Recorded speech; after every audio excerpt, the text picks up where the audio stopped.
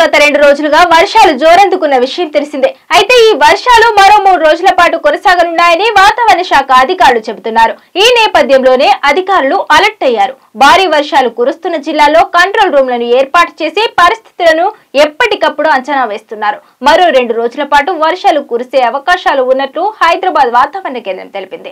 బంగాళాఖాతంలో ఏర్పడిన అల్పపీడన ప్రభావంతో రాష్ట్రంలో వర్షాలు విస్తృతంగా కురుస్తున్నాయని వాతావరణ కేంద్రం తెలిపింది. తెలంగాణలో గురువారం కొన్ని జిల్లాల్లో తేలికపాటి నుండి మోస్తరు వర్షం కురిసే అవకాశం ఉందని అధికారులు తెలిపారు. ముఖ్యంగా ఆదిలాబాద్ భద్రాద్రి కొత్తగూడెం హైదరాబాద్ జగిత్యాల జనగాం కామారెడ్డి ఖమ్మం మహబూబాబాద్ మంచిర్యాల మెదక్ ఎం. మల్కాజ్గిరి ములుగు నాగర్ కర్నూల్ నల్గొండ నిర్మల్ నిజామాబాద్ రాజన్న సిరిసిల్ల రంగారెడ్డి సంగారెడ్డి సిద్దిపేట జిల్లాలలో మోస్తరు వర్షాలు కురిసే అవకాశం ఉందని తెలిపారు.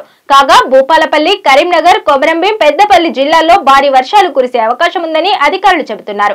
ఈ నేపథ్యంలోనే ఆరెంజ్ అలర్ట్ను జారీ చేశారు. ఈ ప్రాంతాల్లో ఉరుముల మెరుపులతో గంటకు ముప్పై నుంచి నలభై కిలోమీటర్ల మేర ఈదురు గాలులతో మోస్తరు వర్ష సూచన ఉందని తెలిపారు. ఇక హైదరాబాద్ విషయానికొస్తే గురువారం నగరంలో ఆకాశం మేఘాభృతమై ఉండి పలు ప్రాంతాల్లో మోస్తరు వర్షం కురిసే అవకాశం ఉందని అధికారులు తెలిపారు. ఆంధ్రప్రదేశ్లో వచ్చే మూడు రోజులు వర్షాలు కురుస్తాయని రాష్ట్రంలో రుతుపవనాలు చురుగ్గా ఉన్నాయని అధికారులు తెలిపారు. కోస్తా జిల్లాలో మోస్తరు వర్షాలు కురిసే అవకాశం ఉన్నట్లు పేర్కొన్నారు.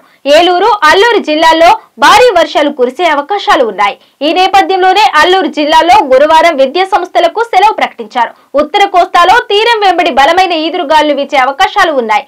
వచ్చే మూడు రోజుల్లో ఉత్తర కోస్తాలో అక్కడక్కడ మోస్తరు వర్షాలు దక్షిణ కోస్తాలో ఒకటి రెండు చోట్ల వర్షాలు కురిసే అవకాశం ఉందని తెలిపారు. ఇక ఉత్తర కోస్తా తీరం వెంబడి నలభై ఐదు నుంచి అరవై ఐదు కిలోమీటర్ల వేగంతో ఈదురు గాలులు వీచే అవకాశం ఉందని మరో మూడు రోజుల పాటు మత్స్యకారులు వేటకు వెళ్ళొద్దని అధికారులు హెచ్చరించారు.